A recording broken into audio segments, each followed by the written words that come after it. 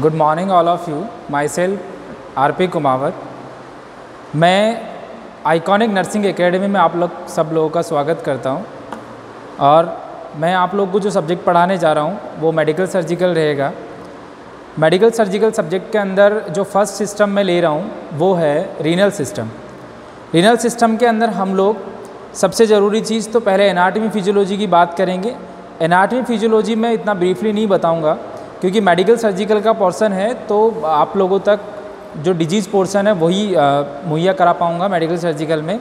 और anatomy physiology का जो रिनल सिस्टम के रिगार्डिंग जो फॉर्मूला है या जो जो भी है, वो डाटाज आपको आइकॉनिक नर्सिंग एकेडमी की चैनल पे ही एनाटमी फिजियोलॉजी के पोर्सन में या प्लेलिस्ट में आप लोग को मिल जाएगा। इसके अलावा, हम लोग अगर मेडिकल सर्जिकल में बात करें तो रीनल सिस्टम की जितनी भी डिजीजेज होती है, उतनी जो इम्पोर्टेंट है या फिर जनरली जो यूज़ आती है या फिर जो हम लोग एग्ज़ाम टाइम पे आती है, वो सारी मैं आप लोगों को मोस्ट मोस्ट इंपॉर्टेंट वो सारी कंप्लीट करवाऊँगा इसके अंदर। तो फ़र्स्ट हम लोग जो अपना सिस्टम है रीनल सिस्टम उसकी शुरुआत करते हैं। पढ़ेंगे हम लोग रीनल सिस्टम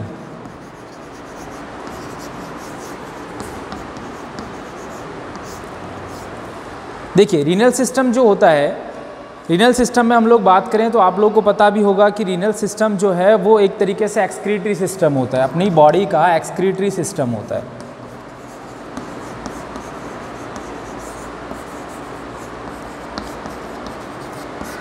जो क्या करता है वेस्ट प्रोडक्ट को अपनी बॉडी से थ्रो आउट करता है, यानी कि बाहर निकालने का काम करता है। बॉडी का जो वेस्ट प्रोडक्ट होता है उसको बाहर निकालने का काम करता है। ये हम लोग देखेंगे इसमें रीनल सिस्टम के अंदर। अगर हम लोग इसके एनाटमी फिजियोलॉजी की बात करें तो इसमें कुछ मोस्ट मोस्ट सा मैं आप लोगों को एक बार ओवरव्यू दे देता हूँ, ताकि आप लोग को थोड़ी दिक्कत आएगी नहीं। तो इसके अंदर देखो, हम लोग मेनली आप लोगों ने पहला देखा कि ये रीनल सिस्टम जो होता है, वो एक तरीके से एक्सक्रेटिव सिस्टम होता है। अब इसके अंदर कुछ ऑर्गन्स आते हैं।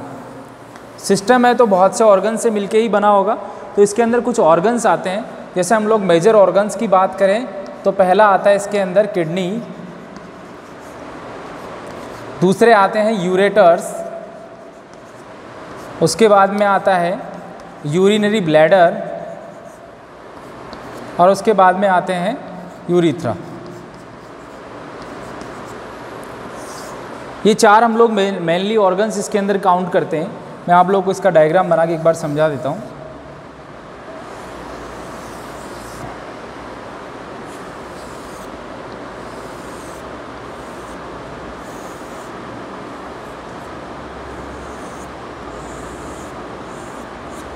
ये देखिए रिनल सिस्टम का डायग्राम सिंपल सा एक ओवरव्यू ये देखिए, ये है राइट किडनी ये है लेफ़्ट साइड किडनी या लेफ़्ट किडनी ये राइट right किडनी जो होती है, वो स्लाइटली डाउन होती है लेफ़्ट किडनी की बजाय। वो इसलिए होती है क्योंकि ऊपर की तरफ़ जो ऑर्गन है लीवर जो होता है वो राइट साइड के अंदर होता है, वो स्लाइडली इसको प्रेस कर देता है। इसकी वजह से क्या होता है वन टू टू सेंटीमीटर जो है, वो राइट साइड की जो किडनी होती है, वो डाउन होती है बजाय लेफ़्ट किडनी के। ठीक है? तो वन इन पेयर होती है किडनीज उसके बाद में यूरेटर्स आते हैं। ये देखिए यूरेटर्स जो एक पाइप लाइक स्ट्रक्चर बनी हुई है, ये यूरेटर्स आते हैं।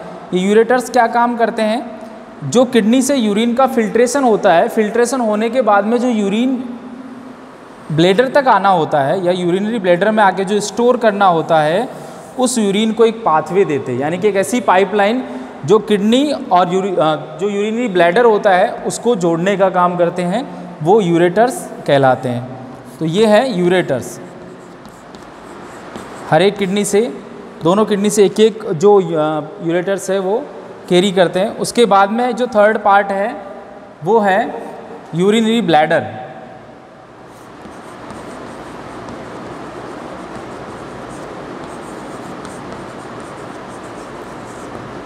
देखो यूरिनरी ब्लैडर जो होता है, वो एक तरीके से पाउच लाइक स्ट्रक्चर जो क्या करता है यूरिन को स्टोर करने का काम करता है।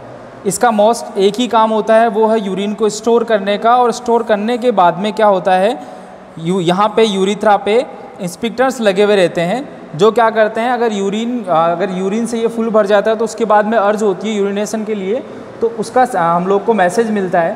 तो यूरिनरी ब्लेडर का एक ही काम हुआ कि यहाँ पे जो यूरिन होता है, उसको स्टोर करने का, और उसके बाद में जो एंड पार्ट आता है हमारे पास, वो है यूरिथ्रा जो पाथवे होता है यूरिन को यूरिनरी ब्लेडर से बाहर के एनवायरनमेंट में पास करने के लिए। तो ये एक जनरल सा ओवरव्यू आप लोगों के सामने है। देखिए, ये स्ट्रक्चर जो आप लोग के सामने मैंने बनाई है रीनल सिस्टम की, जिसमें हम लोगों ने काउंट किया है किडनी को यूरेटर्स को यूरिनरी ब्लैडर को और यूरिथ्रा को। इतना समझ में आया? उसके बाद में मैं आप लोगों से बात करूँगा कि जो क्रीनल सिस्टम होता है, उस रीनल सिस्टम का मोस्ट वर्क क्या होता है? अपनी बॉडी के अंदर जो उसका वर्क होता है, वो क्या होता है? देखिए, मैं एक बार आपको बता देता हूँ थोड़ा सा। देखो, इसका जो फ़ंक्शन होते हैं, पहला जो काम होता है, पहली चीज़ तो वेस्ट जो प्रोडक्ट होते हैं, उनको बाहर निकालने का काम करता है। उसके बाद में जो है, आपके बॉडी की पीएच को रेगुलेट करने का काम करता है, आपका रीनल सिस्टम इसके अलावा ब्लड प्रेशर जो होता है, उस ब्लड प्रेशर को मेंटेन करने का काम ही रीनल सिस्टम का ही होता है। तो ये जो था अपने पास रीनल सिस्टम के बारे में एक जनरल सा ओवरव्यू अब इसके अंदर हम लोगों ने सिस्टम वो जो ऑर्गन्स पढ़े हैं, उनके बारे में जो ब्रीफली जो है आप लोगों को मिल जाएगा एनाटमी फिजियोलॉजी के पोर्सन में, ये मैंने आप लोगों को जनरली बताया, क्योंकि मेरा जो पोर्सन है वो मेडिकल सर्जिकल का है तो आप लोग को वहीं एनाटमी फिजियोलॉजी के अंदर आप लोग को सहूलियत रहेगी इसके बारे में और पढ़ने के लिए। तो हम लोग जो है मेडिकल सर्जिकल में रीनल सिस्टम से एक डिज़ीज़ लेके आ रहे हैं, उस डिज़ीज़ का नाम है ग्लोमेरुलोनेफ्राइटिस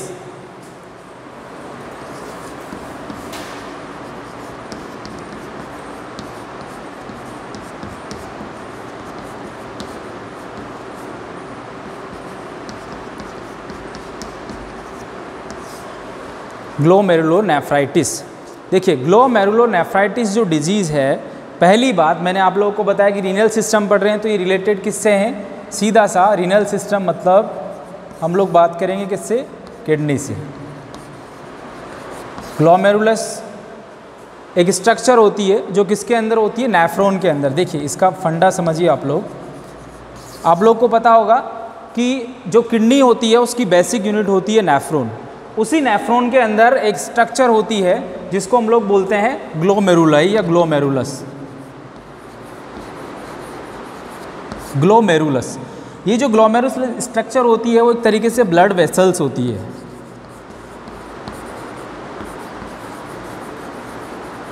ब्लड वेसल्स होती है, ठीक है? अब देखो, इसके अंदर आप लोग, मैं आपको स्ट्रक्चर बना के बता देता हूँ, थोड़ा सा। इस तरीके से आपने पढ़ा भी होगा। एनाटमी फिजियोलॉजी के अंदर और अच्छे तरीके से आ जाएगा।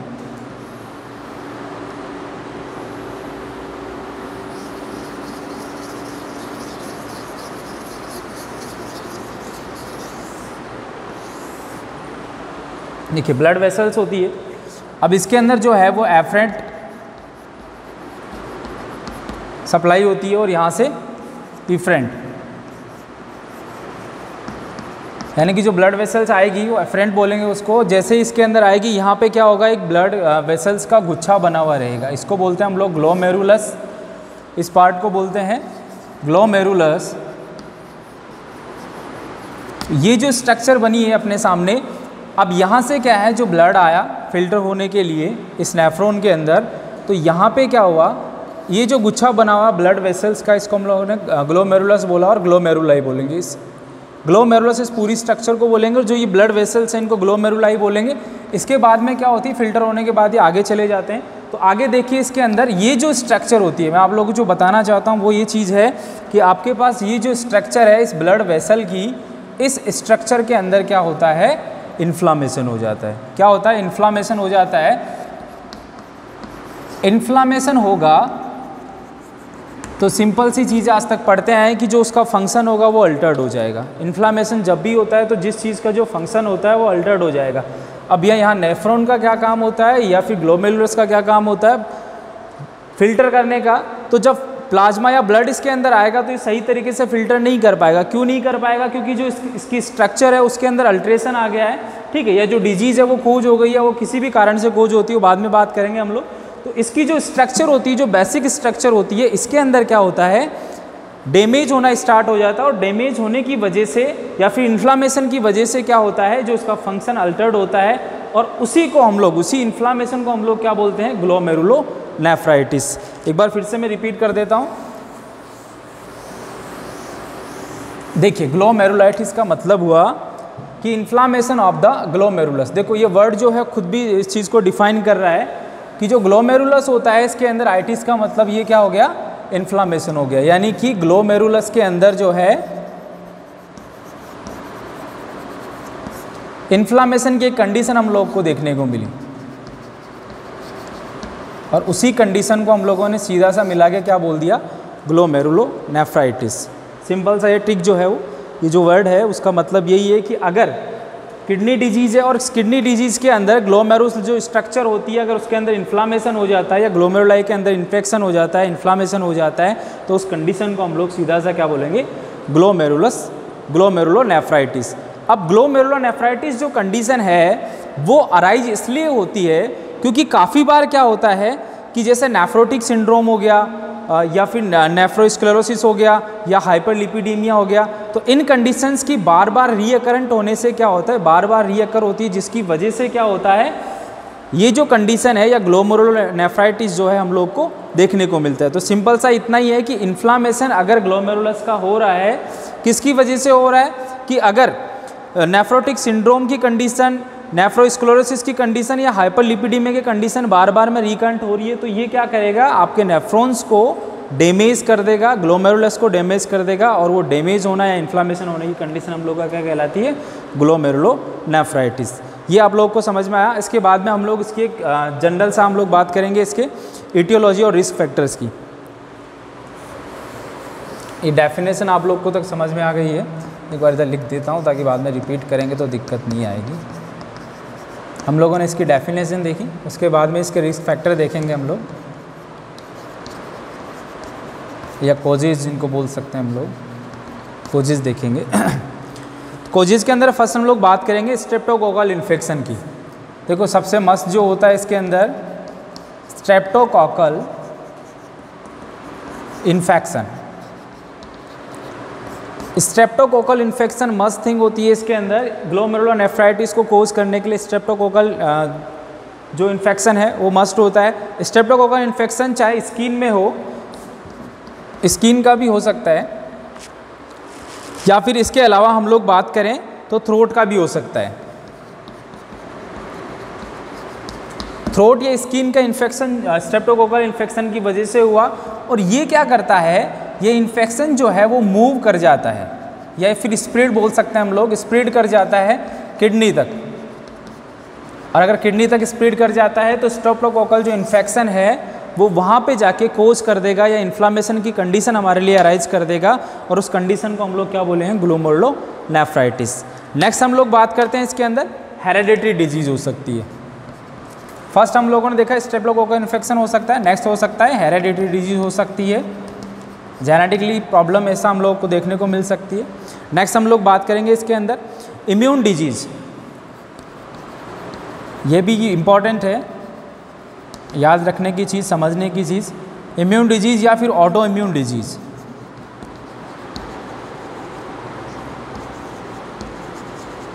या इन शॉर्ट कहे तो अपन S L E systemic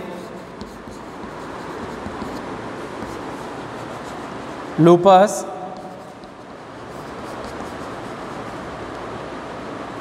erythematosus erythematosus ठीक है, ये कंडीशन हम लोगों को देखने को मिलती है।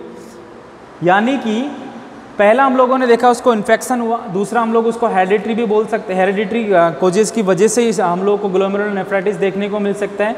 या इसके अलावा जो इम्यून डिज़ीज़ है या ऑटो इम्यून डिज़ीज़ है, जिसके अंदर सिस्टमेटिक ल्यूपस इरीथेमेटस जो एक तरीके से कंडीशन होती है डिज़ीज़ होती है, वो हम लोगों को इसकी वजह से भी क्या होता है ग्लोमेरुलो नेफ्राइटिस हो सकता है। इसलिए हो सकता है क्योंकि ऑटो इम्यून डिज़ीज़ के अंदर क्या होता है जो एंटीजन एंटीबॉडी होते हैं, वो क्या करते हैं? या जो एंटीबॉडी होती है, अपनी खुद की एंटीबॉडी होती है, वो क्या करती है? अपने सिस्टम की सेल्स को या अपनी बॉडी की सेल्स को डेस्ट्रॉय करने लग जाती है। और जब ऑटो इम्यून डिज़ीज़ हम लोग को अगर ग्लो ग्लोमेरुलोनेफ्राइटिस के अंदर बात करें तो सिस्टमेटिक ल्यूपस इरिथेमेटस के अंदर क्या होता है कि जो अपनी एंटीबॉडीज़ होती है, वो खुद ही ग्लोमेरुलस को डेस्ट्रॉय करने लग जाती है, जिसकी वजह से क्या है?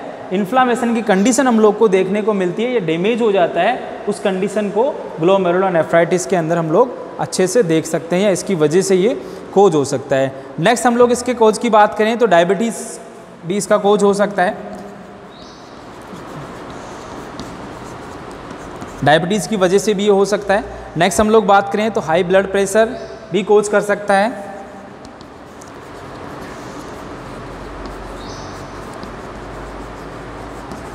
हाई ब्लड प्रेशर भी कोज कर सकता है। इसके अलावा वैसिकोलाइटिस। वैसिकोलाइटिस जो आप लोगों ने कंडीशन देखी भी होगा काफ़ी बार कि जो ब्लड वेसल्स है, उसका इन्फ्लामेशन होता है। चाहे वैसिकोलाइटिस हो या एंडोकार्डाइटिस हो। वैसिकोलाइटिस हो या एंडोकार्डाइटिस हो, इन दोनों कंडीशंस के अंदर क्या होता है? जो इन्फ्लामेशन होता है या जो इन्फेक्शियस एजेंट होता है, वो क्या होता है? वेरी कर जाता है या फिर स्प्रेड हो जाता है और वहाँ से किडनी तक पहुँच जाता है सर्कुलेशन के थ्रू और क्या कर देता है? ग्लोमेरुलस को डेस्ट्रॉय करने का काम करता है डैमेज करने का काम करता है, जिसकी वजह से क्या है? ग्लोमेरुलोनेफ्राइटिस हम लोग को कंडीशंस देखने को मिलती है। ठीक है तो इसके अंदर हम लोगों ने नेक्स्ट क्या माना? हाई ब्लड प्रेशर हो गया। इसके अलावा एंडोकार्डाइटिस या फिर वैस्कुलाइटिस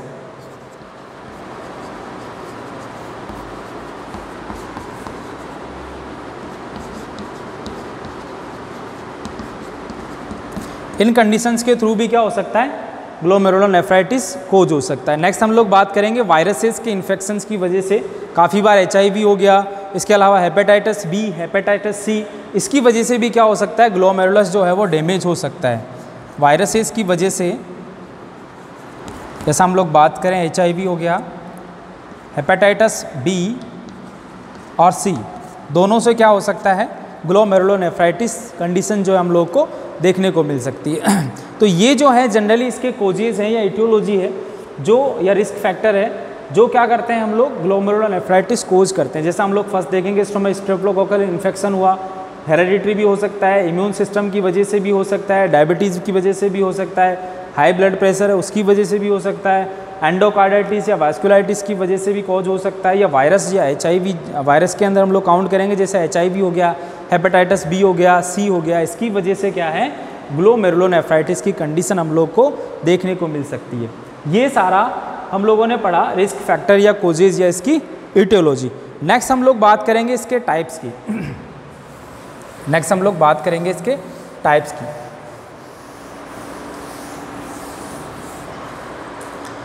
तो टाइप्स में देखिए। टाइप्स की बात करेंगे इसकी।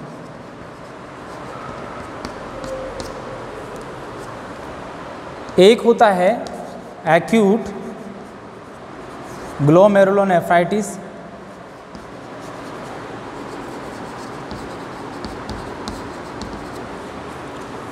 दूसरा होता है क्रॉनिक ग्लोमेरुलो नेफ्राइटिस देखो एक्यूट ग्लोमेरुलोनेफ्राइटिस जो होता है, वो 5 टू 21 डेज़ के अकॉर्ड अगर मान लीजिए कि स्टेफाइलोकोकस इन्फेक्शन जो है, वो 5 टू 21 डेज़ के अंदर अगर अकर हो जाता है 5 टू 21 डेज़ के अंदर अगर स्टेफाइलोकोकस इन्फेक्शन जो होता है, वो अकर हो जाता है तो उस कंडीशन के अंदर जो ग्लोमेरुलो ग्लोमेरुलोनेफ्राइटिस होगा, उसको हम लोग बोलेंगे एक्यूट यानी कि सडन ऑनसेट होता है इसका। यानी कि सडनली मान लीजिए 5 टू 21 डेज़ के अंदर स्टेफाइलोकोकस स्ट्रेप्टोकोकस जो इन्फेक्शन होता है, उसका अगर हम लोगों को स्टेप्टोकोकल जो इन्फेक्शन होता है, अगर इसका हम लोग को देखने को मिलता है कि सडनली इसने क्या किया ग्लोमेरुलस को डैमेज कर दिया है तो उस कंडीशन को हम लोग बोलते हैं एक्यूट ग्लोमेरुलोनेफ्राइटिस वहीं पे हम लोग बात करेंगे क्रॉनिक ग्लोमेरुलोनेफ्राइटिस जिसके अंदर क्या होता है ये एक तरीके से ग्रेजुअली अकर होता है, यानी कि ऐसा नहीं कि सडनली तो एक्यूट हो गया, लेकिन अगर मान लीजिए रिकरेंट बार बार में किसी चीज़ का एपिसोड हो रहा है तो वो क्या करता है कि बार बार में लंबे टाइम तक, यहाँ तक कि ईयर्स तक ये हो जाता है, यानी कि लंबे टाइम तक। सालों तक इसका पता नहीं चलता है या फिर चलता है तो बहुत धीरे धीरे डैमेज करता रहता है। अगर ऐसी कंडीशन हम लोग को देखने को मिलती है तो उसको हम लोग क्रॉनिक ग्लोमेरुलोनेफ्राइटिस कहते हैं। यानी कि ग्लोमेर जो इन्फ्लेमेशन होता है या इन्फेक्शन जो होता है, या जो डैमेज होता है ग्लोमेरुलस का, वो क्या होता है? धीरे धीरे रिकरेंट इन्फेक्शंस की वजह से धीरे धीरे डैमेज होता रहता है। तो अगर वो कंडीशन जो है लंबे टाइम तक हम लोग को देखने को मिलती है, लंबे टाइम बाद में देखने को मिलती है तो हम लोग उसको बोलते हैं क्रॉनिक ग्लोमेरुलो नेफ्राइटिस ये दो इसके टाइप होते हैं। हम लोग इन दो टाइप्स के अंदर सिंपल सा इतना ही ध्यान रखना होता है कि एक्यूट के अंदर और क्रॉनिक जैसा वर्ड के अकॉर्डिंग आप लोग पढ़ते आए हो, हमेशा वैसा ही एक्यूट और क्रॉनिक जो है, वो इस तरीके से हम लोग इनके अंदर ध्यान रखेंगे। नेक्स्ट हम लोग बात बात करेंगे इसकी पैथोविजियोलॉजी की, जो बहुत इंपॉर्टेंट भी कह कह सकते हैं हम लोग बहुत इंपॉर्टेंट है। देखिए पैथोफिजियोलॉजी के बारे में बात करेंगे।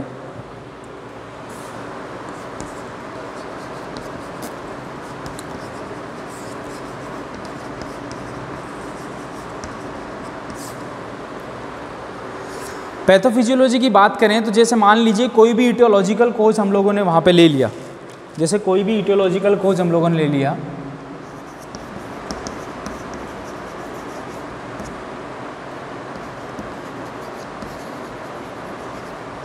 अब यहाँ पे क्या होगा? जब भी कोई इन्फेक्शन होता है तो अपनी बॉडी के अंदर क्या किया? जो एंटीजन होता है वो क्या हो गया? हमारी बॉडी के अंदर रिलीज़ हुआ। या सर्कुलेशन के थ्रू क्या चला गया? एंटीजन हमारी बॉडी में चला गया, देखिए।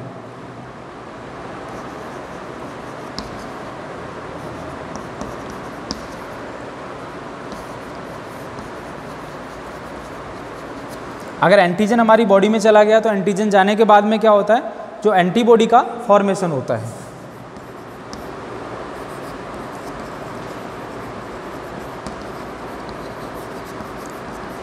फॉर्मेशन ऑफ़ एंटीबॉडी अब एंटीबॉडी का फॉर्मेशन होने के बाद में क्या होता है?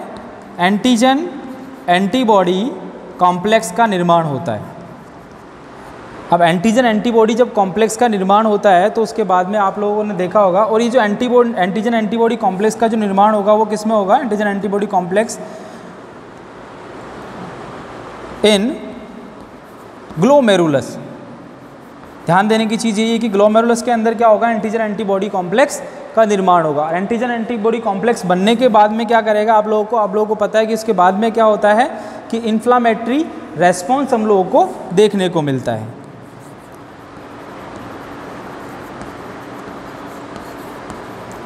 इन्फ्लामेटरी रेस्पॉन्स देखने को मिलेगा।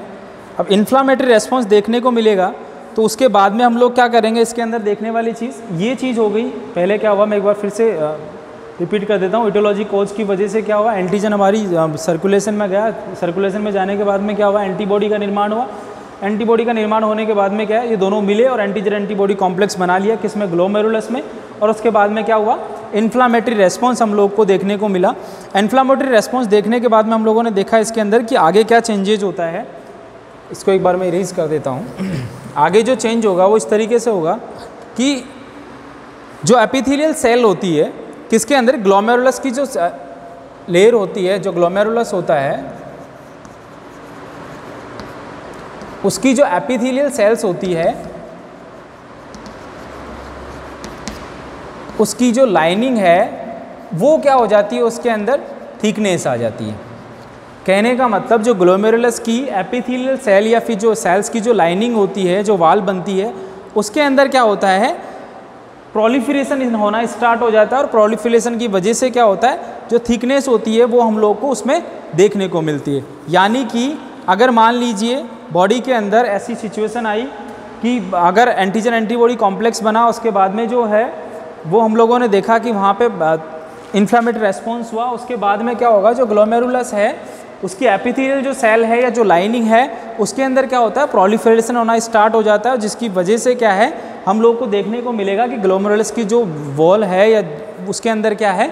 थिकनेस आना स्टार्ट हो गई है। अगर थिकनेस आ गई है तो सिंपल सी बात है कि जो प्लाज प्लाज्मा या जो ब्लड है, उसमें जी जो रेट होती है या ग्लोमेरुलर फिल्ट्रेशन जो रेट होती है, वो डिक्रीज हो जाएगी। अगर जी डिक्रीज हो गई है तो उसके बाद में क्या होगा? जी डिक्रीज होने की वजह से जो सोडियम और वाटर जो है, उस सोडियम एंड वाटर का जो है वो बॉडी में रिटेंशन होना स्टार्ट हो जाएगा। अगर सोडियम एंड वाटर का रिटेंशन होना स्टार्ट हो गया है तो उसके बाद में क्या होगा?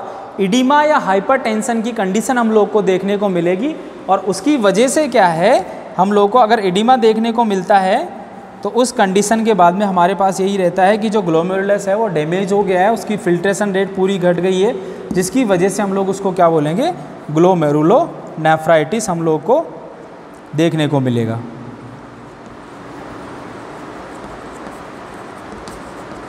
ये सिंपल सी आप लोगों ने पैथोफिजियोलॉजी देखी इसकी।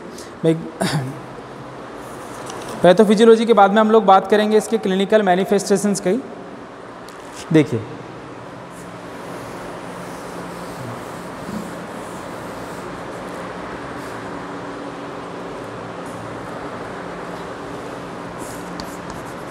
क्लिनिकल मैनिफेस्टेशंस की बात करें हम लोग तो सबसे पहला इसके अंदर हम लोग देखेंगे कि जो पेशेंट के अंदर हम लोग हम लोग को फ़र्स्ट देखने को मिलेगा, वो मिलेगा फ्लैंक पेन वो इसलिए क्योंकि जो किडनी होती है, वो फ्लैंक एरिया के अंदर होती है तो पेशेंट के अंदर हम लोग को देखने को मिलेगा कि पेशेंट को फ्लैंक एरिया के अंदर पेन का जो है, वो शिकायत रहेगी. इसके अलावा फॉर्मी यूरिन वहाँ पे हम लोग को देखने को मिलेगा. फॉर्मी यूरिन फॉर्मी यूरिन कहने का मतलब वहाँ पे क्या होता है जब भी आप लोगों ने देखा होगा कि प्रोटीन यूरिया जो है वो पेशेंट के अंदर हम लोगों को इस कंडीशन में मिलेगा। ग्लोमेरुलोनेफ्राइटिस के अंदर प्रोटीन यूरिया मिलेगा। अब प्रोटीन यूरिया मिल, मिलता है तो वो क्या करता है यूरिनरी ट्रैक्ट जो होती है उसकी सरफेस एरिया को कम कर देता है। अब किसी जगह का सरफेस एरिया कम होता है तो उसकी वजह से क्या है हम लोग को जब यूरिन पास आउट होगा तो हम लोग को देखने को मिलेगा कि जो यूरिन है वो एक तरीके से फॉर्मी फॉर्म में हम लोग को देखने को मिलता है। नेक्स्ट हम लोग बात करते हैं कोला कलर का यूरिन यानी कि जो यूरिन का कलर है वो कोला कलर में हो जाएगा। या आइस्ड। आइस्ड जो टी होती है, उस कलर के अंदर हम लोग को मिलेगा यूरिन का कलर नेक्स्ट हम लोग बात करेंगे इसके अंदर हिमेचूरिया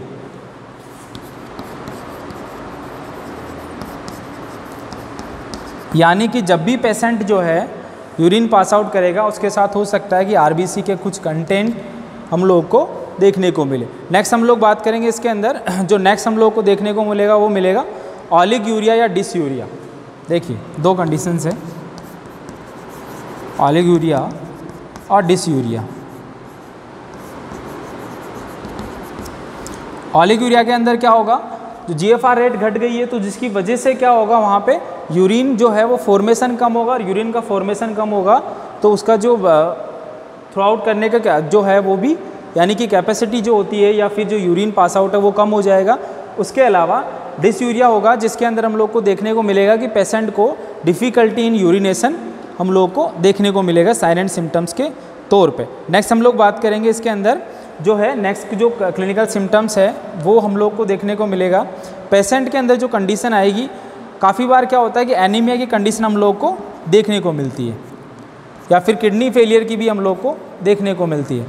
एनीमिया की कंडीशन इसलिए देखने को मिलती है क्योंकि पेशेंट के अंदर क्या है, जो किडनी होती है किडनी का एक और काम होता है, वो होता है एरिथ्रोपोइटिन का निर्माण करने का। अगर एरिथ्रोपोइटिन का निर्माण नहीं हो रहा है तो वहाँ पे आरबीसी का निर्माण भी नहीं होगा। अगर आरबीसी का निर्माण नहीं होगा तो पेशेंट के अंदर एनीमिया की कंडीशन हम लोगों को देखने को मिलेगी।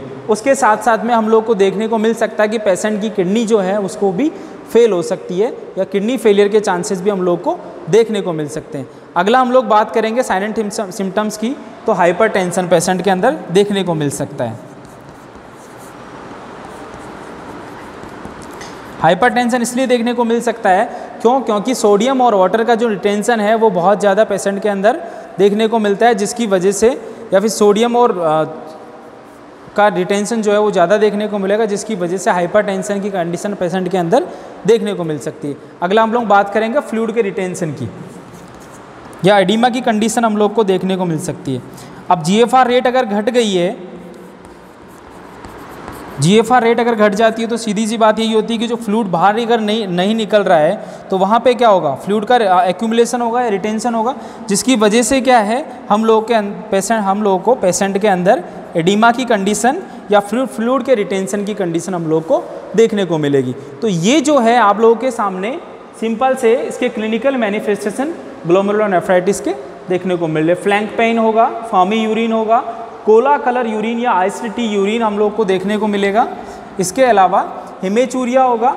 इसके अलावा oliguria dysuria anaemia की कंडीशन या किडनी फेलियर की कंडीशन भी हम लोग को देखने को मिल सकती है।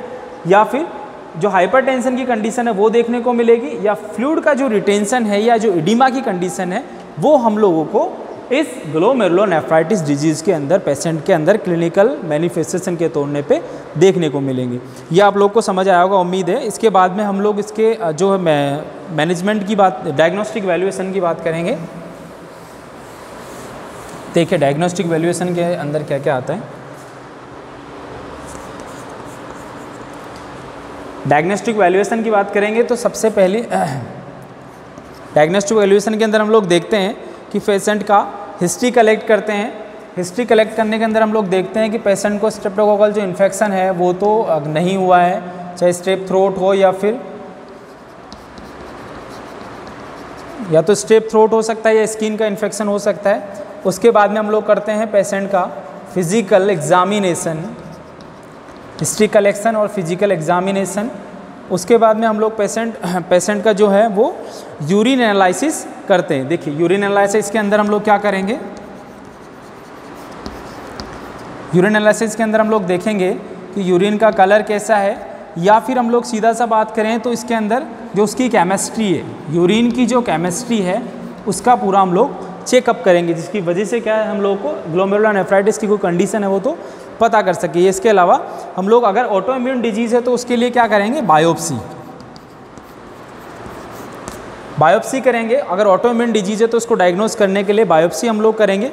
इसके अलावा हम लोग लेते हैं ब्लड टेस्ट ब्लड टेस्ट करेंगे।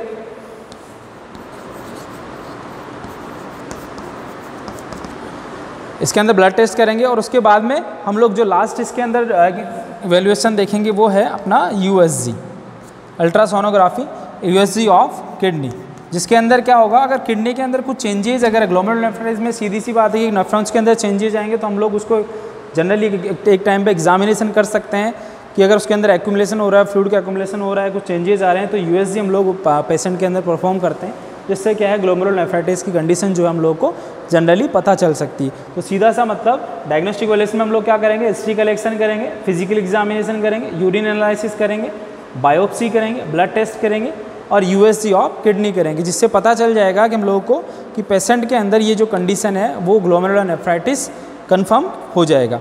उसके बाद में हम लोग सीधा सा चलते हैं इसके मैनेजमेंट पे। देखें मैनेजमेंट जो है वो किस तरीके से होगा? ग्लोमेरुलर नेफ्राइटिस का।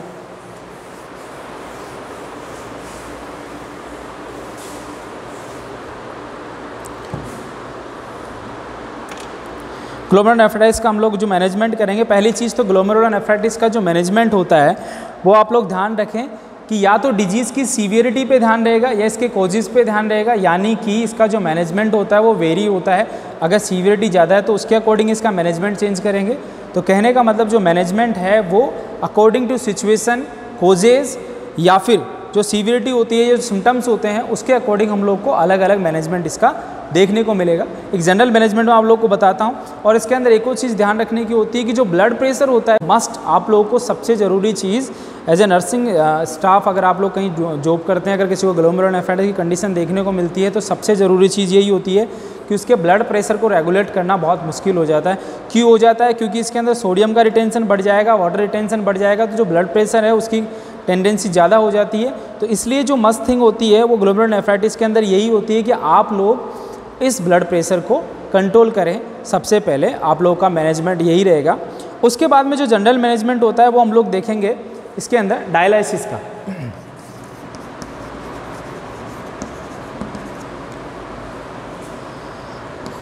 देखिए डायलिसिस करेंगे। डायलिसिस इसलिए करेंगे क्योंकि डायलिसिस अगर हम लोगों ने नहीं किया तो हो सकता है कि अदर जो ऑर्गन्स है हमारी बॉडी के अंदर, वो अफेक्ट हो या वो उनके फेल होने के चांसेस रहते हैं क्योंकि फ्लूड का एक्यूमुलेशन भी ज़्यादा है और रिटेंशन भी ज़्यादा हो रहा है तो उसकी वजह से क्या है, बहुत से कंडीशन हम लोग को देखने को मिल सकती है। तो इसलिए जो डायलिसिस है, वो वेस्ट प्रोडक्ट को बाहर निकालने के लिए सबसे पहले हम लोग परफॉर्म करेंगे। उसके बाद में हम लोग बात करेंगे मेडिकेशंस की या मेडिकल ट्रीटमेंट की। तो मेडिकेशंस के अंदर हम लोग देखेंगे मेडिकेशंस के अंदर हमारा यही मोटो रहेगा कि पहली चीज़ तो वाटर का रिटेंशन ज़्यादा हो रहा है तो हम लोग क्या करेंगे? पेशेंट को डायूरेटिक्स देंगे। डायूरेटिक्स पेशेंट्स को देंगे। इसके अलावा आप लोग ध्यान रहे कि इसके अंदर ऑटो इम्यून डिज़ीज़ की वजह से भी जो इम्यूनो जो ग्लोमरुल नेफ्राइटिस है, वो कंडीशन हम लोगों को देखने को मिली है। तो इसके लिए हम लोग क्या करते हैं? पेशेंट को इम्यूनो सप्रेसेंट इम्यूनो सप्रेसेंट जो ड्रग्स होती है, वो देते हैं।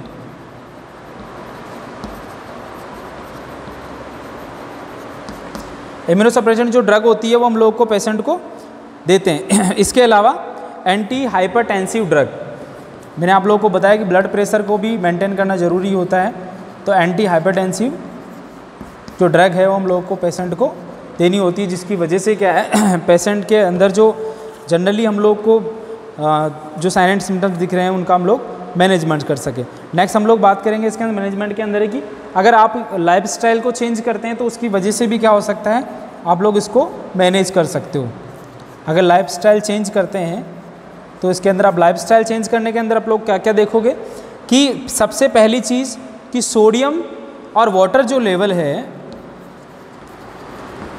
सोडियम एंड वाटर का जो कंजप्शन है, वो आप लोग क्या करेंगे? बहुत कम कर देंगे। या पेशेंट को जो है हम लोग एडवाइस करेंगे कि सोडियम और वाटर का जो है वो कंजप्शन बहुत कम कर दें। इसके अलावा जो प्रोटीन इंटेक है, अब प्रोटीन यूरिया की कंडीशन हम लोग को देखने को मिल सकती है, इसलिए प्रोटीन का जो इंटेक है, वो भी क्या कर देगा पेशेंट को? बहुत मिनिमल कर देंगे। अगर बहुत मिनिमल कर देंगे तो उससे क्या होगा? प्रोटीन यूरिया की कंडीशन हम लोग को देखने को नहीं मिलेगी।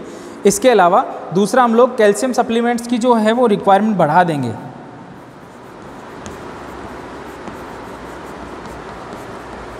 कैल्शियम सप्लीमेंट्स जो हैं वो पेशेंट को ज़्यादा देंगे। ठीक है? इसके अलावा नेक्स्ट हम लोग पेशेंट को जो है वो एक्सरसाइज के लिए एडवाइस करेंगे पेशेंट को कि वो बेटर एक्सरसाइज करे, अपनी बॉडी के वेट को मैनेज करे।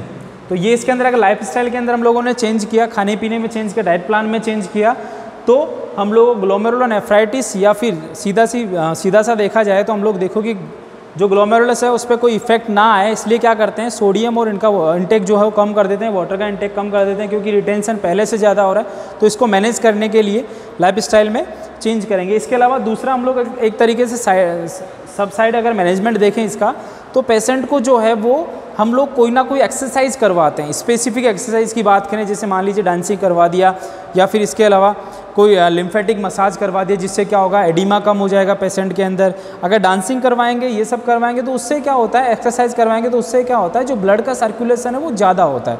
अगर बॉडी के अंदर ब्लड का सर्कुलेशन बढ़ेगा तो सिंपल सा यही होता है कि वहाँ पर फिल्ट्रेशन का कुछ ना कुछ अच्छा इफ़ेक्ट हम लोग को देखने को मिलेगा। तो जिसकी वजह से क्या है पेशेंट के अंदर हम लोग इसके कॉम्प्लिकेशंस या फिर ग्लोमरुलर जो नेफ्राइटिस होता है, उसको कुछ हद तक मैनेज कर सकते हैं। तो ये सिंपल सा हम लोगों ने कुछ इसका मैनेजमेंट देखा, जिसके अंदर हम लोगों ने डायलिसिस देखा, मेडिकेशंस देखे कि डायरोटिक्स देना है इम्यूनोसप्रेशन देना है एंटी हाइपरटेंटिव ड्रग देनी है।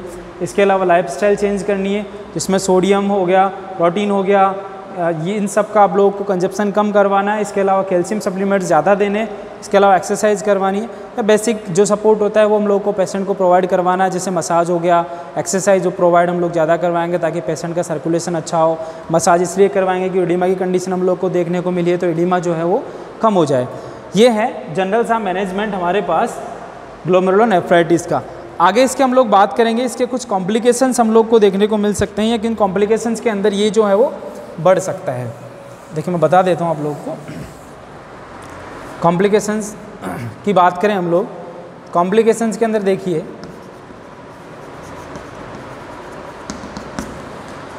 कॉम्प्लिकेशंस में हम लोग देखेंगे कि अगर एक्यूट और रीनियल फेलियर वहाँ पे पेशेंट के अंदर हो सकता है एक्यूट और रीनियल फेलियर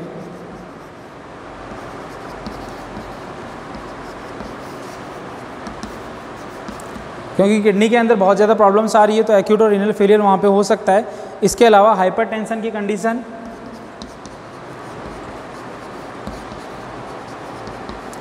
अगर ऐसी कंडीशन है तो वहाँ पे ग्लोमेरुलोनेफ्राइटिस के चांसेस बहुत ज़्यादा होते हैं। दूसरा हम लोग बात करें कि electrolyte imbalance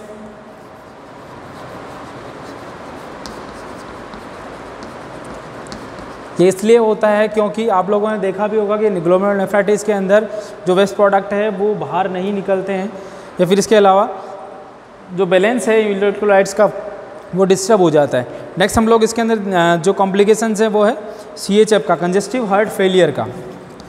C H F condition हम लोग को देखने को मिल सकती है, क्योंकि यहाँ पे जो फ्लूड का ओवरलोड है, वो बहुत ज़्यादा हो जाता है। फ्लूड ओवरलोड ज़्यादा होने की वजह से क्या है हम लोग को एज ए कॉम्प्लिकेशन पेशेंट के अंदर ग्लोमेरुलनेफ्राइटिस में सी की कंडीशंस को हम लोग ज़्यादा ये जो है वो वेरी करने के काम करता है। तो ये इसके कुछ सिंपल से कॉम्प्लिकेशंस थे जो पेशेंट को ग्लोमेरुलनेफ्राइटिस के अंदर बढ़ाने का काम करता है। नेक्स्ट हम लोग बात करेंगे इसका जो अपना जो सबसे मस्ट होता है। एज ए नर्सिंग के अंदर हम लोग काम में लेने जो वाली चीज़, जो चीज़ होती है वो होती है नर्सिंग डायग्नोसिस या नर्सिंग मैनेजमेंट देखिए नर्सिंग मैनेजमेंट की बात करें हम लोग तो इसके अंदर नर्सिंग डायग्नोसिस कुछ बनेंगे। आप लोगों को जनरल डायग्नोसिस बता देता हूँ, जो इसके अंदर बनेंगे। पहला जो है वो डायग्नोसिस है आपके पास excessive fluid volume. Excess fluid volume. Excess fluid volume, इसके अलावा एक्टिविटी इन टॉलरेंस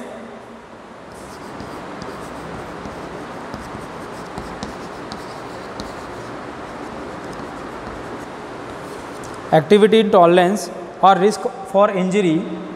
नेक्स्ट जो है वो, रिस्क फॉर इंजरी।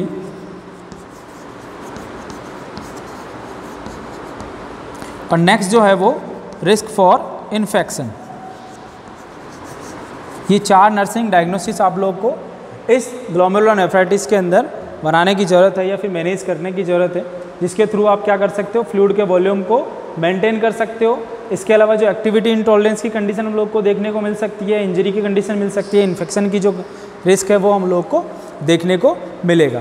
तो ये पूरा आप लोगों ने देखा ग्लोमरुलर नेफ्राइटिस के अंदर कि ग्लोमरुलर नेफ्राइटिस क्या होता है, इसकी डेफिनेशन क्या होती है रिस्क फैक्टर या कोजेज क्या होते हैं, इसके टाइप्स कौन से होते हैं पैथोफिजियोलॉजी क्या होती है क्लिनिकल मैनिफेस्टेशंस क्या होते हैं डायग्नोस्टिक वैल्यूएशन क्या होता है मैनेजमेंट क्या होता है, इसके कॉम्प्लिकेशंस क्या होते हैं और उसके बाद में एंड मोमेंट पे नर्सिंग डायग्नोसिस जिसके अंदर excess fluid volume activity intolerance risk for injury और रिस्क फॉर इन्फेक्शन ये सारे टॉपिक्स इसके अंदर आप लोगों ने बहुत अच्छे से समझने की कोशिश की होगी और उम्मीद करते हैं कि आप लोग को समझ में भी आया होगा।